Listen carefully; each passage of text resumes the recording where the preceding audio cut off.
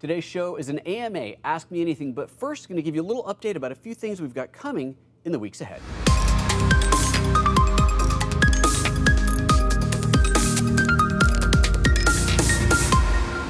Good morning and welcome to Photo Joseph's Photo Moment, the first live show here on YouTube, talking about photography, video, and all that good stuff every Monday, Wednesday, Friday. First live photo show every Monday, Wednesday, Friday. You get the idea. You know what it is. We are here at 9.30 a.m. Pacific time at youtube.com slash photojoseph talking about anything camera, video, photo related. If it's got a lens or camera attached to it, I figure it's fair game for this discussion. And that's what we do here on this show. Normally, if you've never seen the show before, normally we have a very specific topic. Today is one of those AMA shows. Just kind of whatever you want to know about, throw it out there. We'll chit chat. This could be a 20 minute show. This could be like a three hour show. I really have no idea. If you're here just for the AMA, we're going to put a time somewhere here. Oh, um, you can scrub to that because I'm going to first do a little bit of just kind of pre-update just on things that are coming up in the in the weeks ahead, because there's a lot going on at once, and I just want to kind of show you everything that's that's happening, and then we'll get into the show itself. So. This is some of the stuff that I'm going to be talking about over the next couple of weeks, month, and so on. Um, first up, I, and I'm not really going to do a proper unboxing because it's a tripod. It's, it's not that exciting of an unboxing but I want to show this to you. So I have, as you guys know, when we're on the studio camera, the camera that rolls around back here, it doesn't actually roll. It's just on a tripod. And you've seen as Ryan moved it around, he picks up the tripod and moves it. So I wanted to get a rolling tripod. And you can spend a lot of money on a rolling tripod, or you can try and go cheap. I try to go cheap because I've spent way too much money on everything else around here. So I uh, reached out to B&H and kind of talked to their, their sales folks and spec together a tripod that I think is going to work out very well in here. And the whole thing comes out at, I think like 250 bucks or something like that. It's a really good price for a tripod with rolling wheels. So that's what this is. So it's got the wheels on it so that we can roll it around. It's got a handle so that Ryan should be able to move the camera. He can reach up to do his focus and zoom. Um, we looked at even having the power zoom because I do have a power zoom lens, but it's a variable aperture and I just don't like that in the studio. So it's, it's just better to have the fixed aperture. Manual zoom, but that's okay. Ryan can reach over and can control the zoom. Tripod should be sturdy enough the wheels on there hopefully are big enough. This is my big concern is my floor are these plastic tiles that are snapped together. So there's a tiny little ridge between each tile. And my concern is that the wheels might kind of bump over that and you'd see that jostle in the camera. So we'll find out. But that is something that we will be working with and then I'll be talking about how well it's worked out for me or not uh, in a future show. But I'm not gonna do an unboxing because it's, it's a tripod, but that is something we're gonna be doing. On Wednesday's show, uh, here, actually, I'm going to bring up a graphic for this. On Wednesday's show, we're going to do a show about black and white photography using color filters. This is going to be really interesting, I think. This is going to be a lot of fun. So I got this filter pack from K&F that was really quite inexpensive. Um, it came with more colors than I need for this. And we're going to do some some experiments, some showing the differences of with certain filters without, because we can do set the camera to black and white and see through the viewfinder black and white. I can actually do that live, which is crazy cool. So I'm looking forward to that. That's going to be on Wednesday. This company called Pixco reached out to me, and they make adapters to adapt your Canon lens. They have for pretty much every lens manufacturer. Um, adapt your lens to another camera. And so I asked them to send me a couple of Canon adapters for Micro Four Thirds. Now these are not Metabones adapters. These are these have no glass in them but this will adapt my Canon lenses to my Lumix cameras. I have no idea what the difference is. There's two of them. I don't know why there's two. I don't know, but we're going to find out. So they sent me these to play with. Um, they've got, look at this. This one has an aperture in it, which is really quite interesting because it's a stepless aperture, which is quite nice. So I guess you can leave the Canon lens wide open, stepless. I know. Very inexpensive compared to the Metabones, but of course there's no glass in them, so you're not getting the, uh, the light amplification, but I don't know. We're going to play with it. So I wanted to show you these. I do an unboxing, except I just did. Take it out, and that's the box. It's not exciting. So I will be playing with those and reporting back on those. If this works out well, I think that's a pretty awesome, inexpensive way to get old Canon glass or Nikon or whatever you got onto your Micro Four Thirds steel. Try not to break this. Um, I talked about this briefly before, the Lensbaby Velvet lens. I am going to do a show on it. I was trying to set up something for Valentine's Day. I was going to do something because it's all soft and right, and I've got a red backdrop there. We can shoot against that. Um, I, that might still happen. The girl that I was going to use is going to be out of town, so uh, I need to see if I can sort that out in time. But uh, one way or another, we're going to talk about that lens sooner or later. I feel like I'm missing something. Maybe that's everything I wanted to tell you. Okay. I think that's everything. Oh no, there was one more thing. Um, shoot. and it's not here. But Angelbird, Angelbird, the memory card manufacturer, they have sent me a couple of cards to review. And so I've just got them in the camera. I haven't done anything real with it. Like I haven't shot at 400 megabit or, or any of that yet. But um, I do have a couple of those cards now. So I don't, sorry, I don't have them here to show you. But the Angelbird cards I will finally be looking at and finally being able to shoot in 400 megabit. I haven't had fast enough cards to do that with. So now I do. With that said, now let's get into the proper show. Now we're going to do the AMA let me see, I know there's a question that already came up that I said let's get into that when we get to the AMA, so let me just scroll through the comments here. Uh, for those watching live, if you have a question for the show, just put it in the comments. Make sure you type at Photo Joseph in front of it. That way I can see the question. I know there's a question there, and I will address it. If it doesn't have that, then I, I might miss it, might not get to it. Um, also, if you really, really love me and, and want to support the show a little bit, there's a little dollar sign down there. You can click on that, and then you can make a contribution and ask your question that way. You don't have to, but you know, it's kind of cool. It helps. Every little penny helps here. All right. First question comes up. Bruce Bruton, Bruton, Bruton says, Good morning. How are you today? I'm fine. Thank you, Bruce. You can tell I'm very excited. I'm in a good mood today. I got a small rig cage. I thought it said rib cage at first. I thought, well, that's a bit odd. SmallRig cage for my G7. Okay, my question is if you know, can I still use my external flash in the camera's hot shoe with the cage on? Well, that's going to depend on the cage, whether it is shaped around the hot shoe, which I would think most cages would be. Uh, where's Ryan, can you grab my uh, the camera with the cage over there? Uh, the cage that Ryan's gonna, it's, it's, on the, I'm pointing and he's not even looking, he has no idea what I'm pointing at. It's on the big table. Uh, the cage that I have is for video use, and so by default, it doesn't really, thank you very much. Mm -hmm. It would be, uh, you'd put a handle over where the hot shoe would be, so that kind of blocks it. However, in this case, and this is the, for the GH5, this is the SmallRig cage, I've talked about this guy before. This has I, I didn't originally buy this because I didn't think I was going to want it, but then Sean, my buddy Sean, who you've seen here before, uh, he sold me his because he decided he didn't need his. But this is called a helmet or something like that. Let me get these off so they don't make that noise. This attaches on top of here, allowing room for the XLR1 adapter to fit on here, and then I can still put other stuff on top of this.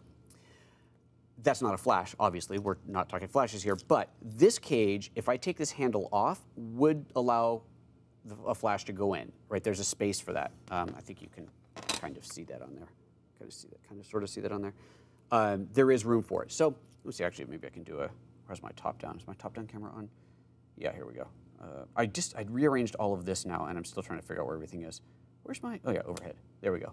So there you can see there's plenty of room. If I took this handle off, there'd be plenty of room to put a flash on there. But given that this is set up for video, obviously I don't need the flash on there. So there's that. Okay, uh, so uh, yeah, without answering, without knowing your exact model or being able to look at that, I don't have an answer for you. I'm sorry, Bruce.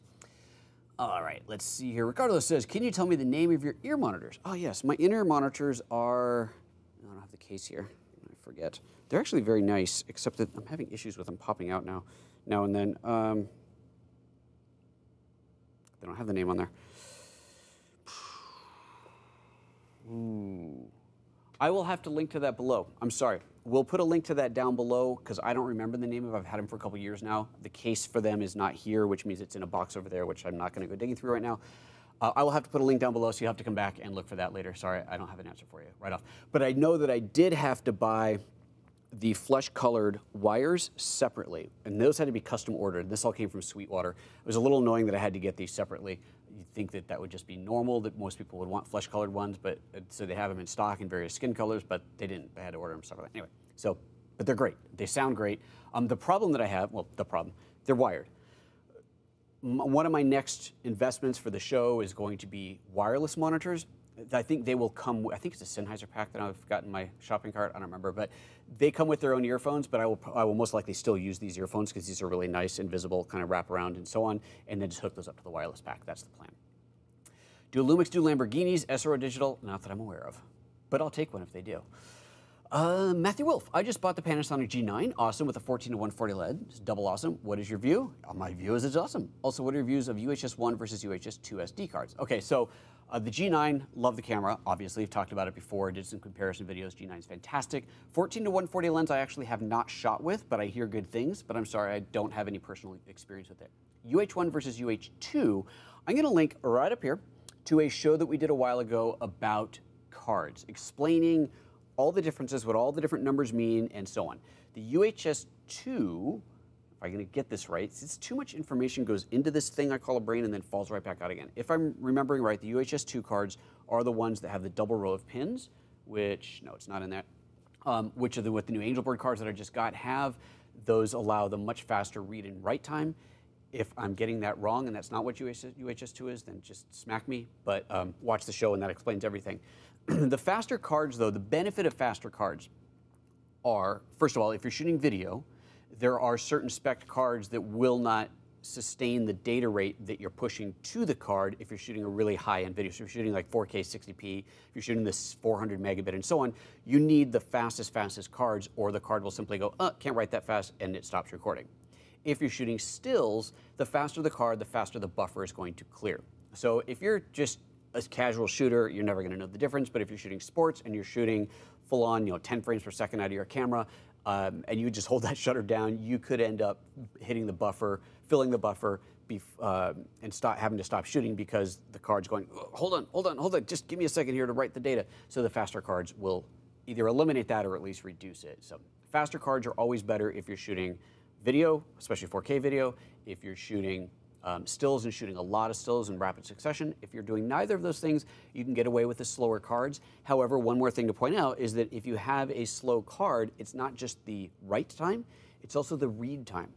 So when you take your slower card, if you put it into a fast card reader, excuse me, still have to have a good reader for this, put in a fast card reader, put it in your computer, and you're going, why is it taking so long to copy the pictures off the card? Well, because the card is slow. Well, the bottleneck in that case could be the card. So all things to consider if you're up against deadlines, if you're hurrying, if you're shooting the Olympics and you need to, you know, get those pictures off, you got 15 minutes to turn around and get those pictures off to the um, off to the press, then you want the fastest cards available. If if you don't need it, if you're not shooting high high uh, frame rate video or sorry high um, bit rate video, if you're not shooting a lot of stills frames per second, high frame per second, if getting if time getting the pictures off your card is not a concern, then you could probably save your money and buy slower cards. So there you go. Okay. Um. Oops, scrolled past, and of course the thing just scrolled all over the place. There it is. Does SRO Digital, do Subarus have a 360 degree stabilized camera mount option with cellular signal booster? Not stock, but I'm sure you can add one on. Tolman, if anybody's who didn't see the pre-show is wondering, I got a new car, I got a Subaru, and so I was just showing the pre-show folks the car, and that's why they're asking. Tolman says, if you get too many bumps, maybe you can put down some tripod tracks. Oh, no, no, no, we're not putting down tripod tracks. I'm talking about the this thing sliding around.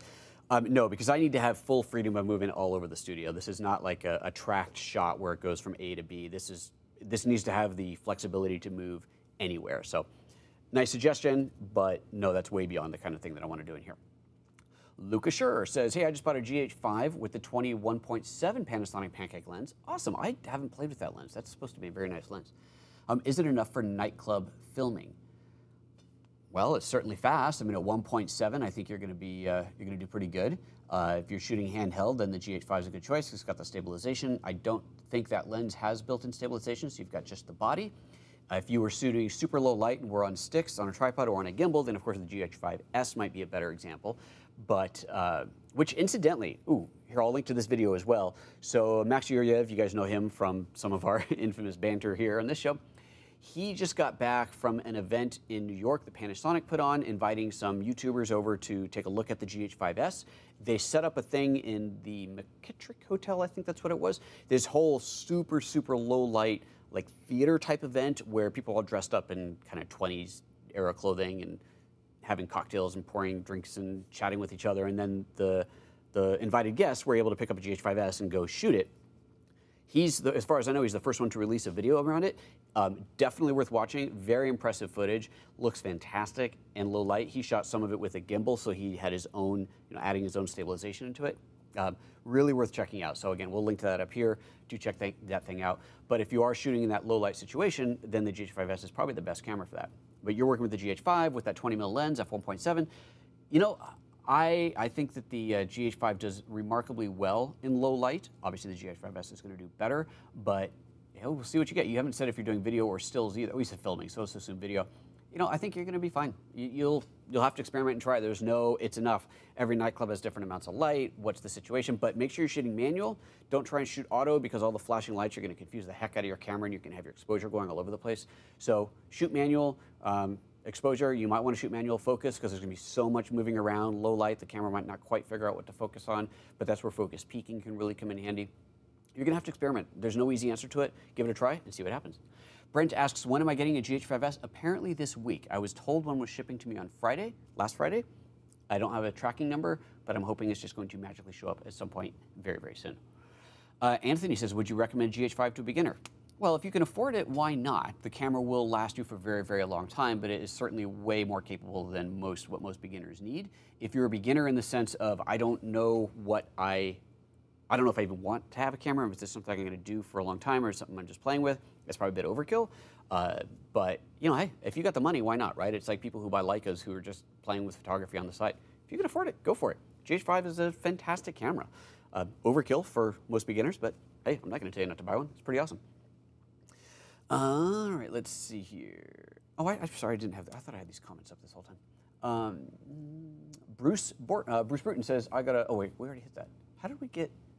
Oh, you probably repost, copy and pasted that in. Samir says, "What do you think of the new GH5 autofocus hack?" Don't know anything about this. By changing the shutter angle from 180 to 150 for much improvement of autofocus. I have not heard of that. Doesn't sound like a hack. Sounds more like a uh, uh, a tip, but I haven't heard of that please feel free to post a link. Ryan, are people able to post links now? You said something the other day about maybe we could do that. Okay, Ryan is going to approve you, Samir, right now so that you can paste a link in. Go ahead and paste that link into the show notes, uh, into the comments here, and then we'll grab that. We'll be able to put that down below as well. Oh, he can't, he can't do it. Apparently he can't do it. He's making stuff up now have you ever commented on a video, Samir? I don't know. Just get me the link one way or another. Um, Brent says, also, if you don't have room for a flash, can't you use one of those offset cables for flash? Because now we're talking about the, the cage and a flash again. Yes, absolutely. It's a very, very good point. If you wanted to, if you were using a cage setup, let's say you had something like this for your still camera, not with a monitor probably, and for whatever reason the cage setup didn't allow, let's just say like this handle was permanent on there. That's a good example. Let's say this handle was permanent. I could not put a flash here. You could use an off-camera flash cable, a TTL cable. You slide that in there, and then you put your flash elsewhere. And usually it's better for the flash not to be right over the lens, so it'd probably be better anyway. But that's a very good point. Thank you for mentioning that. A cable like that would absolutely help you if the, uh, if the cage is getting in the way of your flash. All right, uh, let's see here. We hit that. And Capturing Media says, curious, would the Epiphan X2, that's the hardware box for doing live streaming. Be good for running out of the Blackmagic Studio HD to stream to the stream to YouTube or Facebook, or do you have a better option for under thousand dollars? Blackmagic Studio HD, that's the new switcher, right? Let me let me pull this up real quick. I think that's the new switcher to do basically what I do, but on a smaller scale. Uh, let me just pull up the Blackmagic website and make sure that I am thinking about the same thing. So let's see here. Let's go to this, and it's the Blackmagic Studio products and um, switchers. Blackmagic broadcast panel studio converter. Nope, don't see that there. Oh, here we go. The television studio. This is what you're talking about, right? The ATEM television studio. I think this is what you mean. Um, Blackmagic Studio HD. I'm pretty sure this is what you're talking about. Okay, so this handles all the switching, and then you still need something to handle the encoding. So just for anybody who's not clear on how this stuff works, if you're doing a live show, you can you have multiple segments of how things come together. You've got your camera switching, which is what I'm doing here, where it allows me to do things like switch to a close-up camera, my overhead camera, or the, the primary camera, or just show the comments, or uh, all that stuff. That's all part of the switching process. Um, that is typically handled separately from the encoding and streaming, which in itself is two parts. The video stream, the program it's called, has to be encoded into something that can be live streamed, and then that encoded stream has to be pushed to the internet. So it's kind of a two-step process there. If you're using software like Wirecast, it does everything all at once, but many regular viewers know my disdain for software encoders and switchers because they're just not reliable and you start trying to do too much and everything falls apart very quickly. Hardware, like the ATEM Television Studio or the ATEM 2ME, which is what I use, a much bigger version of this, are fantastic because they do all your switching in hardware. It's rock solid, totally reliable, but they don't do the encoding. So from there, you have to somehow encode and stream it.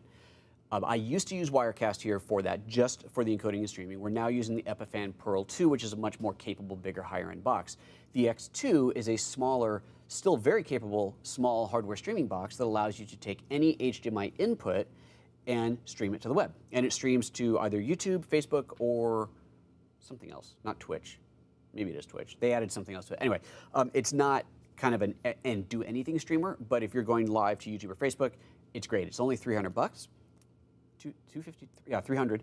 Uh, it's it's a great bargain. It's very good quality. Not as good quality as the Pearl 2, which is an $8,000 hardware encoder, but it is still a very, very good quality hardware streamer.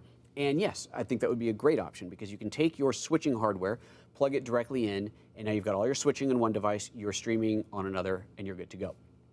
If you wanted to go super lightweight, you could just take a camera, take your GH5, plug it into the X2, and go live from that, which is awesome. Um, but yeah, there's definitely options to, go, to do it that way. So I would say, yes, that is a very good low cost solution.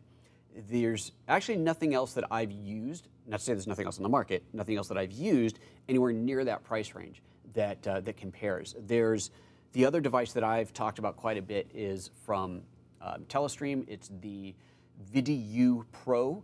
It's $1,000 and it does essentially the same thing, but it has more options, meaning I can stream it to any platform on the planet. Um, it is smaller, lighter, battery powered. I can plug in a, um, a USB thumb drive, what do you call it? A, um, a, a 4G stick, um, you know, broadcast, you know what I'm talking about, a little 4G Wi-Fi stick thing into it and go live from there. Uh, very flexible, but that's it's $1,000, so it's over three times the cost. So yeah, I would say the X2 is probably the best bet if you're looking to take your program from an ATEM television studio and just go live, keep it simple and easy. Uh, bang for the buck, definitely the best thing that I've seen. There you go. Hopefully that helps. Okay. Um, Tuba Dylan says, I use GH4s. Let's get this back up here. I use GH4s for my studio live show. I love it when the comments go flying by. Where'd it go? Go. Use GH4s for my live studio show and have plug-in adapters so that I can run them continuously without worrying about batteries. Plug-in AC adapters you're talking about. Okay, cool. That's awesome. Sorry, was there a question in there? You had a question before. Uh, if there's a question in there, sorry, follow up with a question later. But yes, AC adapters are definitely, if you're going to be either whether you're shooting video for long periods of time or you just want to be keep the camera on for a live show or anything, AC adapter is the way to go. My I've got a GH4 over here that is this close-up camera. That is a stuff is in the way, but anyway, that's my close-up camera. Also the overhead. That one here is also a GH4. Both of them are plugged into AC adapters, and neither of them ever get turned off. They are just on permanently. So there you go. Yeah, none of neither of them ever get turned off. So it's great. Okay. Um, oh, which there's to Dylan's next question. Do you think that leaving the GH4s on for days at a time in video mode could damage the sensor? No, it will not. The flip out screen or any other part of the camera? Nope. Nope, no damage. Keep it running, no problem. Sean wants to bust out the video tripod. Now, do that later. It's, that's not, not going to be an exciting unboxing. No one wants to, wants to watch me put that together. Ground Zero says pick one and why for portable live streaming, always going to YouTube, same channel, Webcaster X2, VidiU, or VidiU Pro. Okay, pick one and why. Portable live streaming. How portable? So ground zero, that's a tough question because how portable do you mean? Do you mean in the sense of I want to take a rig, attach a live streaming thing to it, and be 100% wireless, look ma, no strings, and go live, in which case the VidiU Pro is your choice. I actually haven't used the VidiU. I don't recall the differences between the VidiU and the VidiU Pro, but the VidiU Pro is what I bought, and there must have been a good reason, or I wouldn't have spent the extra money. Um, if you want to go truly wireless, battery powered, then you got to do that. If you don't need to be battery powered, if, if portable means setting it up in a, uh, in a hotel room or you know, on location studio, both the VidiU and the X2 do Wi-Fi and Ethernet. Always go Ethernet if you can. Um, they both take in a single stream of HDMI and encode and go. The X2 requires additional things to get it up and running. You have to have an external keyboard. I have shown, I don't have it here with me now, but I have shown this tiny little keyboard. We'll link to it down below. It's super cool.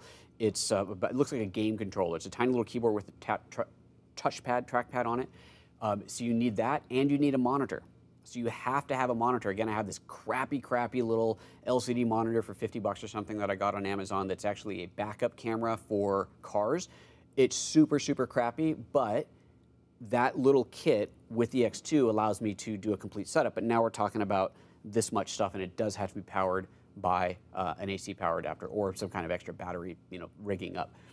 So if you want truly, truly portable, you got to go to the VidiU. If you don't need full-on battery operated, then get the X2.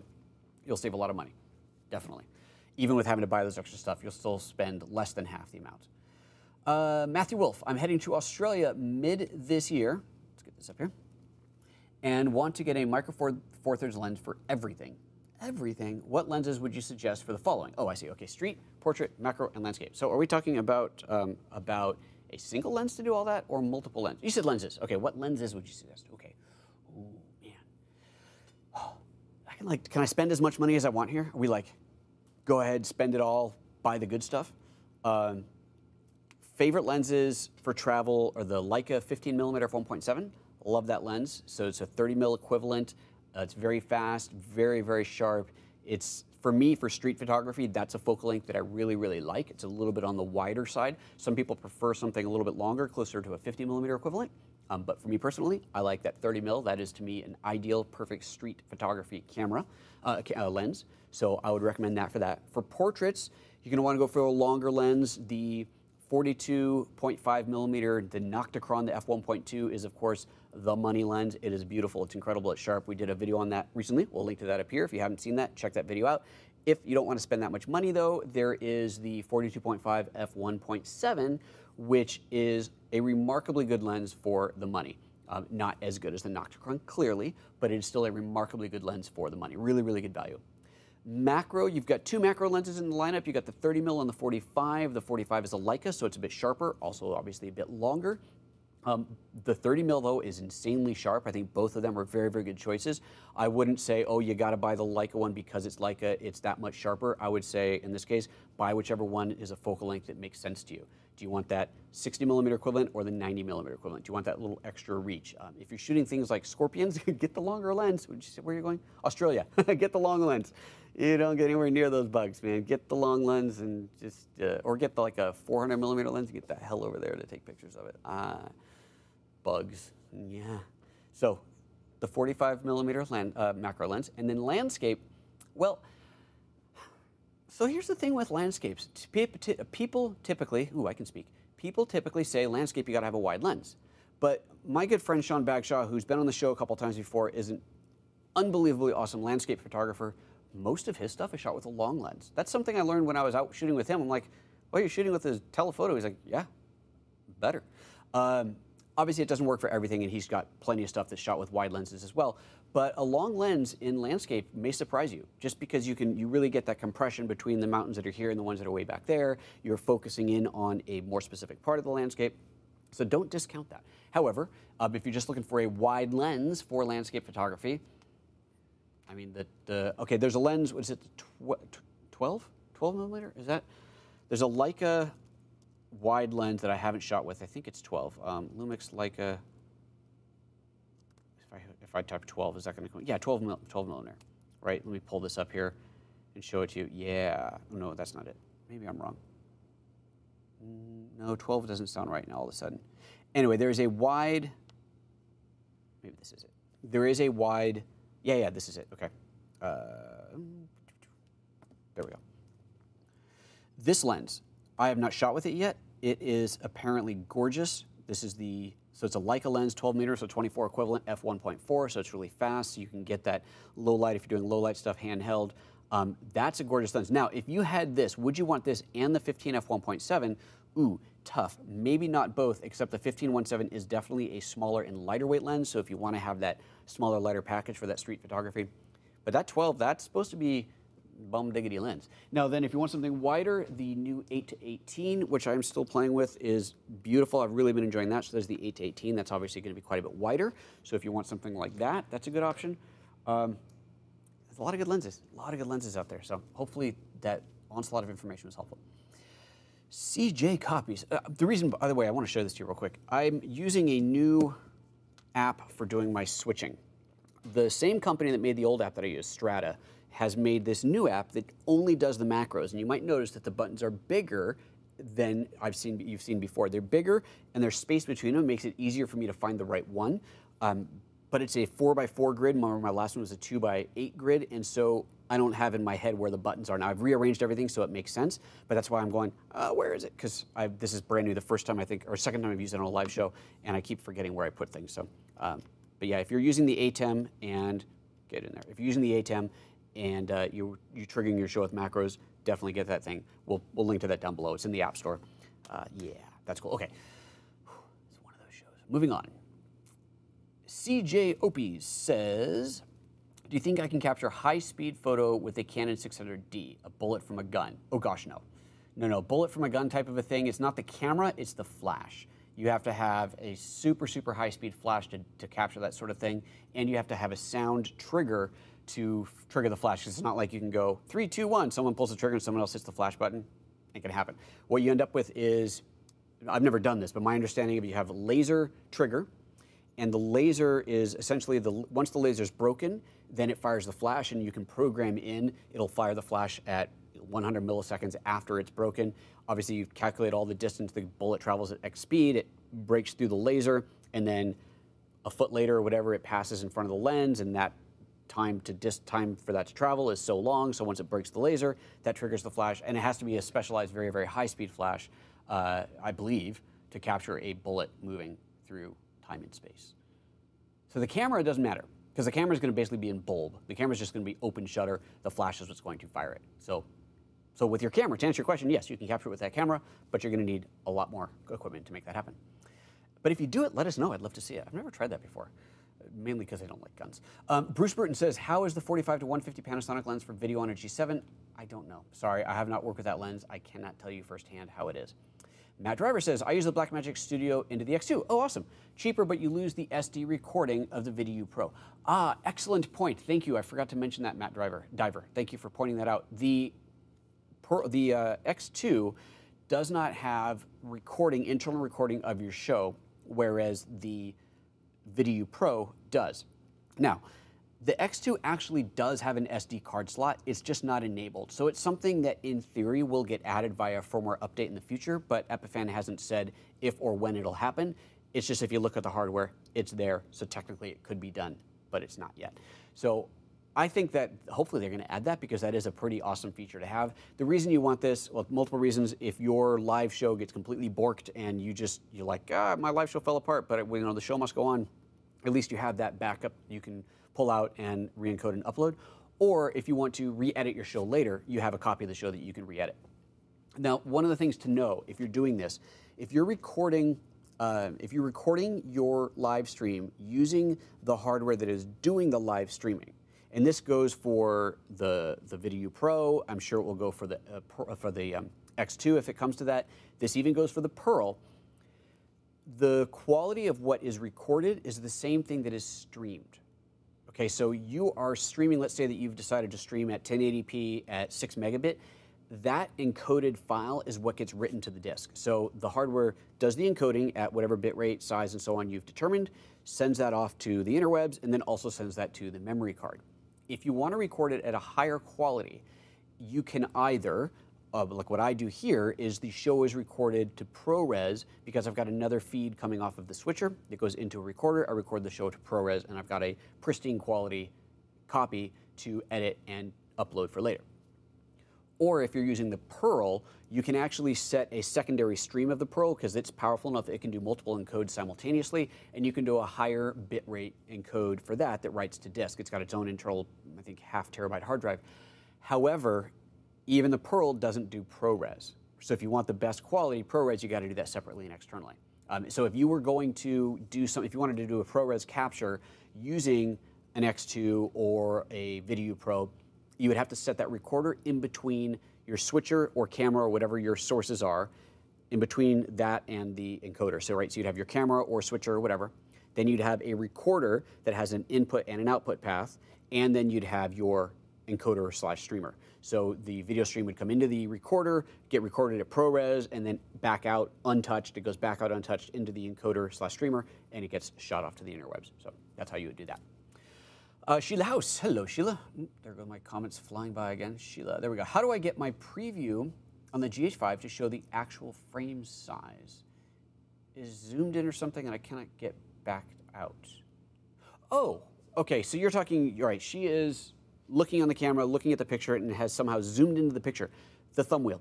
The thumb wheel on the, the top thumb wheel, the one that usually does shutter or aperture depending on the mode you're in, just scroll that and it will zoom back out. Zooms in, zooms out. So that's probably what you're run into. Just zoom right out of there. All right. Uh, somebody's uh, recommending Sling Studio. Yes, Sling Studio, check that out. I have not used the Sling Studio, but that is definitely a cool package as well. Willem Houtman says, should I use a battery grip for my G9? Shooting with the PL 42 point, uh, Panasonic Leica 42.5, 1260, 818, and 15 mil. That is 100% personal preference. Do you want to have dual batteries so you don't have to you have change batteries less often? Do you want the vertical grip? If you want those things, then go for the, the battery grip. If you're more concerned with having a smaller, lighter package, then don't put the battery grip on it. Just have extra batteries in your pocket. Uh, and if you don't, you know, obviously if you don't care about the vertical grip, total personal preference, but it's it's a nice advantage. If it's a nice add-on, but if you're buying into Micro Four Thirds because one of the reasons being you want it to be smaller and lighter, when you start adding things like the battery grip on there, you are definitely getting your size up there again. So just something to consider. It's a great add-on. If you need it, perfect. Um, I have it on. I have it for the GH5. I don't usually shoot with it on there. Uh, it's just not something that I usually need. I've got bags of gear around. I don't need to have two batteries in there. And I, I don't know. I guess when I shoot vertical, I just I just do this. I don't need to have the full-on grip. So, but that's me. That is me. All right. Boom. Well, where'd it go? Um, comments, comments, comments. There we go. Tom Curley. Oh, hello. Tom is piping in saying my pick, uh, for, probably for the Australia trip, would be the 1440 f3.5 to 5.6 and a 15 mm Leica for low light wide shots. There you go. There's some more suggestions for lenses. Uh, Bernardo da Silva says, do you think Panasonic will release an improved version of the G85 and the GX85 with a 20 megabyte sensor soon? Okay, here's what I always say to questions about do I think, what are they going to do? First of all, I don't know, and even if I could, I couldn't tell you. So there's that. Um, being a Lumix ambassador, that's the kind of information that I may or may not have, but even if I had it, I couldn't tell you. Um, but then I always like to respond to these things with a snarky response. This is not direct, this is just in general because it's fun. Um, I like to say no. No, that is the best camera that they will ever release, and they will never make anything better. I used to work at Apple, and people would always ask me, is Apple working on a new laptop? No. The last one that came out was it. That's the last one they're ever going to do. So Will there be a replacement for any camera in the lineup in the future? Most likely, yes. Uh, if, unless the camera is a complete and total flop, then camera manufacturers tend to evolve that camera to the next generation. As far as when, your guess is as good as mine, but uh, there's always, always something else being worked on. No company in the world sits around and doesn't do anything else. So apologies for the snarkiness, but you know, that's just that's just kind of the, the, what goes what goes with that uh, question sometimes. Okay, Anthony Jackson says vlogging seven to fourteen or eight to eighteen. Ooh, very good question. I know both is good if you had a choice, just one and why. Eight to eighteen. If I was vlogging eight to eighteen, it has less distortion around the edges. So uh, if you see someone who's vlogging with a 7 to 14, they're doing, you know, obviously the personal pointing at themselves. That 7 at 7 millimeter gets a bit more distortion than the 8, uh, than the 8 to 18 at 8 millimeter. So that one extra millimeter of width doesn't make any difference, I don't think, for vlogging type stuff, and uh, but the less distortion will look better. So I think the 8 to 18 is a better choice for vlogging. Uh, Brent Kaplan says, I have the 12 millimeter Leica. It's awesome, fantastic. I gotta get my hands on one of those. I've never shot with it, but I know a few people who have it and absolutely love it. Uh, Bryant says, love watching your GH5 videos. Thank you. Would you ever do other videos on other cameras? You deserve way more subscribers. Well, thank you, Bryant. Send those subscribers my way. I will gladly take them. I don't have plans to do them on other cameras other than doing add-ons to the GH5 course for the GH5S. I'm going to do an, a supplementary course for that, um, obviously once I get the camera. But other than that, no, I don't have plans. Those take a lot, a lot of work, and I can, like that GH5 training at gh5training.com, by the way, just in case you're wondering what in the heck he's talking about, gh5training.com. You head over there, you can check out my course. It is five and a half hours of very detailed, extensive training on the GH5.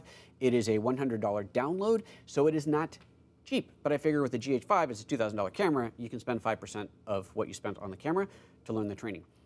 But if I did one of these trainings for a smaller camera, let's say a $1,000 camera or a $500 camera, it, the training is going to take just as long. It takes a lot of time and effort to put those together, and it's really hard to. It's I can't sell something like that at 100 bucks. People know oh, that's too much money.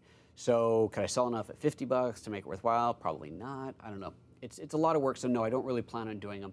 Uh, like I said, I'll do one for the GH5S. I don't plan on doing one for the G9. I've said on the show before, if you really want one, let me know. And I've had, I think, three people email me saying, yes, I'll pay. And one even said, I'll pay a little bit of money for that. And I thought, yeah, not, not really, that's not the answer I need. Uh, I can't sell three copies of something and, and you know, make a profit. So, so no is the short answer, uh, except for the GH5S. Obviously, anything could change, but I got plenty of other stuff going on too.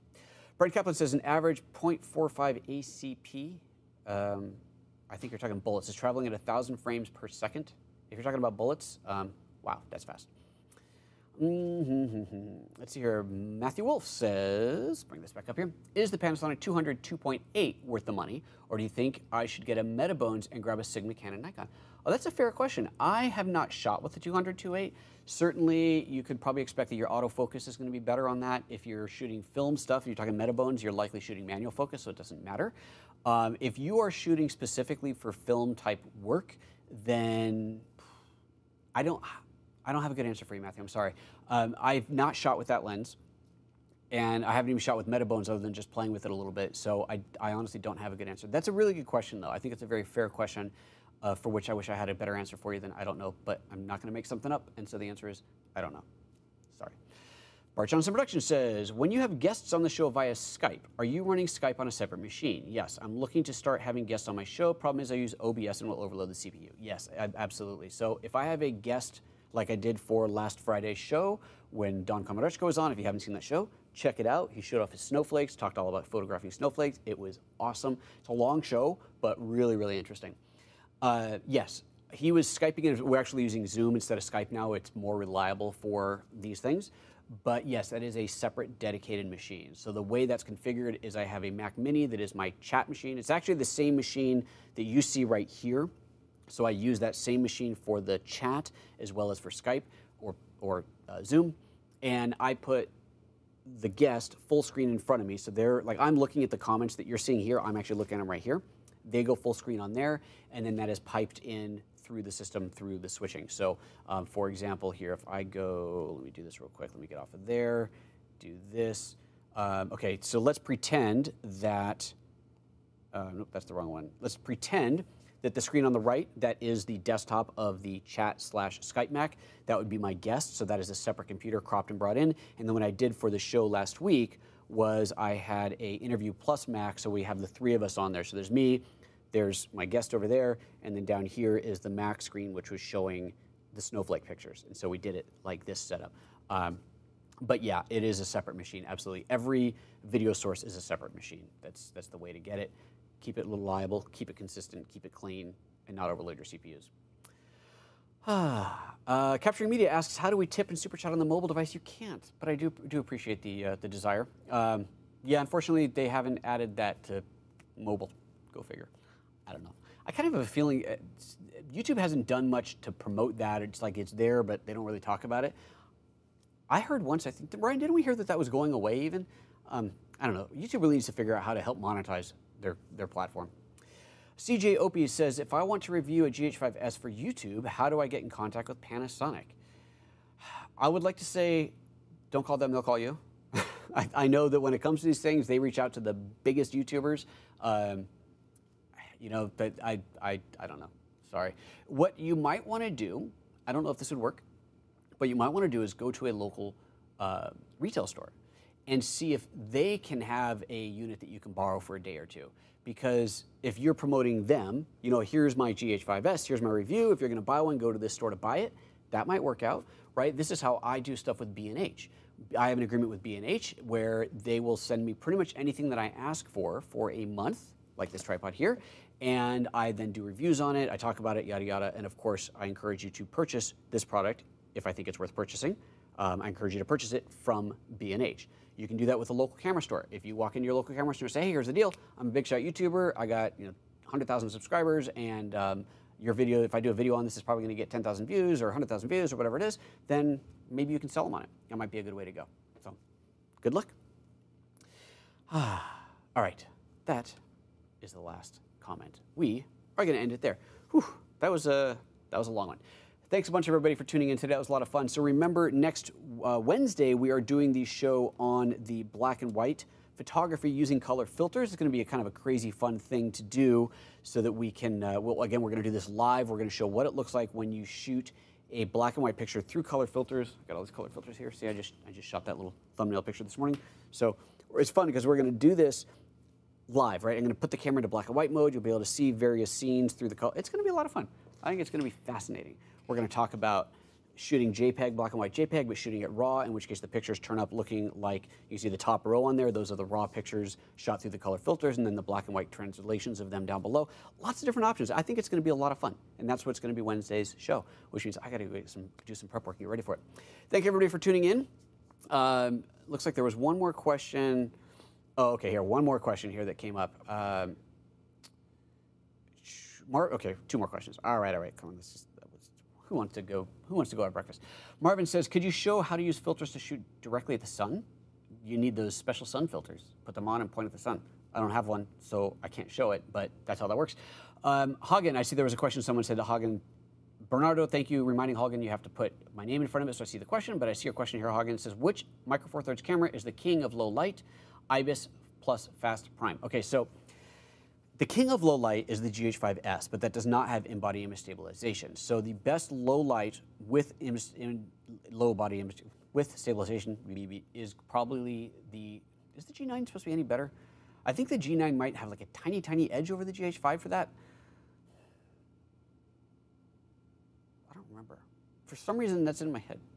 I think it's a negligible difference. I think that you'll be fine. I mean, GH5 or G9, either one of those is going to be basically the same for low light photography. Um, so yeah, if still and if you're doing still photography only, you may as well go for the G9. If you want both still and video, uh, you know GH5 is obviously your your probably your prime choice. But if you're questioning which one of those to get, I'll point once again up here. Uh, we already linked to it. Just click on the little button up there, a little eye up there, and that'll uh, bring you to the video that I did last week or week before about the GH5 versus the G9s. You can really compare and side by side and see which one works out best for you. Okay. Ah, that's it. Uh, Marvin says, which filter type do I search for? Uh, Ryan, what, what are the sun filters called? You bought one. And the, well, variable ND two to 400. So you got to get the super super ND filter, I guess, for that.